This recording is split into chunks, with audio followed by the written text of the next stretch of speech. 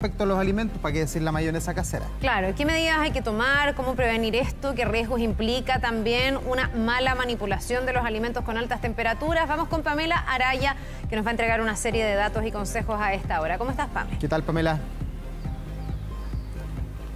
Hola, muy buenos días. Sí, es muy importante, sobre todo considerando lo que ocurrió ahí hace unos días, estas 66 eh, personas intoxicadas eh, con salmonella. Bueno, hay algunos casos eh, que tuvieron incluso que requerir de hospitalización. Lo cierto entonces es que tenemos que tener cuidado con la manipulación de los alimentos, con lo que comemos también, por ejemplo, si es que no está en un local establecido, no cumple con las medidas básicas de higiene. Para profundizar en todo esto, vamos a conversar a esta hora con el doctor Christian von Mühlenbrock, quien es gastroenterólogo de la Clínica de la Universidad de los Andes. ¿Cómo está, doctor? Buen día. Hola, buenos días, Pamela, ¿qué tal? Buenos días a todos por allá también. Yo daba el ejemplo de este caso de la salmonela, una intoxicación eh, que se da por este queso de cabra que fue comprado en locales, sí, en negocios, pero que era manipulado y era elaborado por una persona que no tenía ningún tipo de permiso. Exacto, o sea, todos nos hemos tentado a comer cosas ricas. Yo creo que eh, también he sido culpable de repente tentarnos en la playa o tentarnos en una plaza, comer alguna cosa. Pero efectivamente el riesgo de comer o manipular algo que no sabemos de dónde ha provenido o si ha tenido una cadena de frío o si la persona se lavado las manos puede finalmente someternos a infecciones. Y así como contaban ustedes que vienen las altas temperaturas esta semana también, uno tiene que pensar que esa alta temperatura favorece que si hay un microorganismo, cualquiera sea, eso también hace que prolifere mucho más rápido. Por tanto, es mucho más riesgo que los alimentos que no han sido procesados bien tengan más riesgo de tener alguna infección o alguna toxina. Ahora, en el caso específico, por ejemplo, de la salmonela, ¿es peor cuando hace más calor o en realidad esto está presente siempre? Uno siempre se imagina que es cuando hay más calor que cuando no está más en peligro. Claro, la salmonela específicamente puede venir en cualquier época, no es solamente en el verano, a diferencia de los virus, toxinas u otras cosas que es más estival. Ahora, el calor sí promueve que las bacterias, cualquiera sea, sea prolifere mucho más rápido.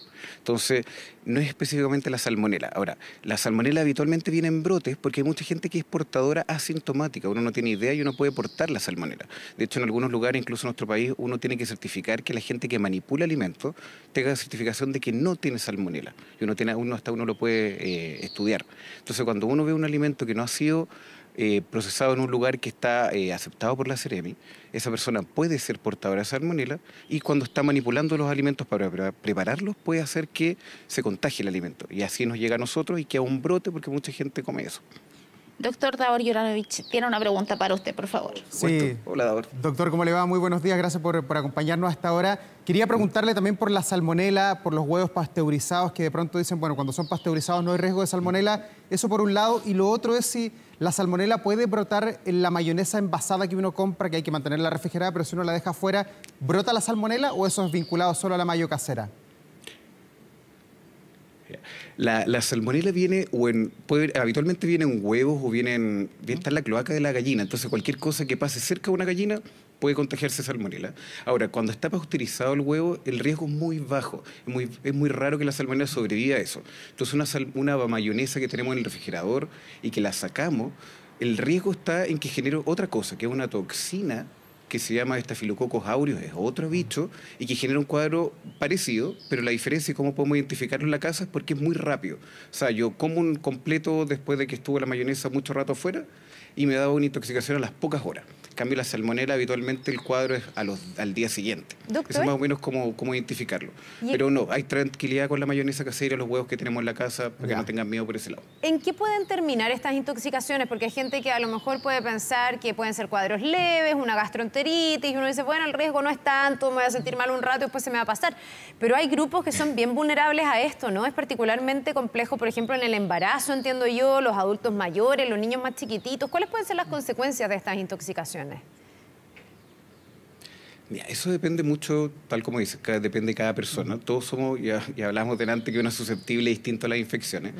Pero, por ejemplo, un niño muy pequeño, un adulto mayor o alguien que tiene riesgo por deshidratarse por una infección, incluso una toxina que para cualquiera de nosotros puede generar un mal rato solamente. Si yo tengo problemas a los riñones, tengo un problema al corazón o tomo fármacos, por ejemplo, como un diurético, que son remedios para botar líquido, mm. y además me contagio de esto, puedo terminar con problemas al riñón, con problemas al corazón. Y son los pacientes que terminan hospitalizados como los que vimos recientemente en Valparaíso y, en, acá en la región metropolitana, que tuvimos caso. Pame. Doctor, los síntomas son variados, la verdad, de las cosas, porque una persona puede tener vómitos y otra persona puede tener incluso hasta fiebre, me imagino. Claro, puede partir solamente como una gastroenteritis, o sea, decir gastro, o sea, vómitos, náuseas, malestar y enteritis porque hay diarrea. Pero casos más severos pueden generar ya fiebre, pueden generar también una cosa que se llama sepsis, que es cuando este, esta bacteria no solamente se queda en el tubo digestivo, sino que se va a la sangre y se va a dar vueltas por todos lados. Y eso termina generando una infección sistémica y eso es lo grave. Y eso es donde termina generando hospitalización y los cuadros donde incluso puede haber mortalidad. Le decía algo súper importante, que a veces si uno está enfermo, dice, ah, tengo unas gastroenteritis, sí, me duele un poco la guata, un par de vómitos, se me va a pasar. Pero puede que no se pase y se torne grave, como dijo usted, por lo tanto, ¿hay que ir inmediatamente a un centro de urgencia o cuánto tiempo es prudente esperar? Si uno es relativamente joven, joven digamos hay joven de 80 años, o sea, no, depende de cada persona, pero depende obviamente de, biológicamente joven. Si no tengo mayores enfermedades, si veo que eh, relativamente no tomo ningún medicamento y un cuadro que puedo aguantar, por ejemplo, puedo tomar líquido todavía, me puedo hidratar, eso es lo importante. O sea, si yo tengo un cuadro gastrointestinal y me puedo mantener hidratado, vamos bien. Habitualmente estos cuadros resuelven solo, tres días, cinco días, máximo diez días. Ahora, si yo veo que no me puedo hidratar, que estoy vomitando, que no puedo tomar ni los remedios, o estoy tomando otros fármacos que me pueden deshidratar, como da el ejemplo gente con problemas del corazón o el riñón que toman remedios que botan líquido, ahí tengo que ir a consultar. O lo otro, si hay fiebre o me veo muy mal, veo mal me refiero como un niño, por ejemplo, que uno ve que está muy decaído, un adulto mayor que se desorienta, hay que consultar de forma inmediata. Doctor, y lo otro es la automedicación. Muchas personas toman gotitas, no voy a decir marcas, pero voy a decir gotitas o estas conocidas pastillas de carbón. Eh, ¿Qué dice usted? ¿No hay que tomar nada o sí? ¿O preguntar al farmacéutico de la farmacia? Claro, ningún fármaco que no auspice TVN, no vamos a nombrar. ninguno de ninguno, ninguna más. Pero nadie, por lo menos, eh, todos conocemos esos nombres ya clásicos. En general, eh, sí, están, que eh, la farmacia no las puede comprar fácilmente.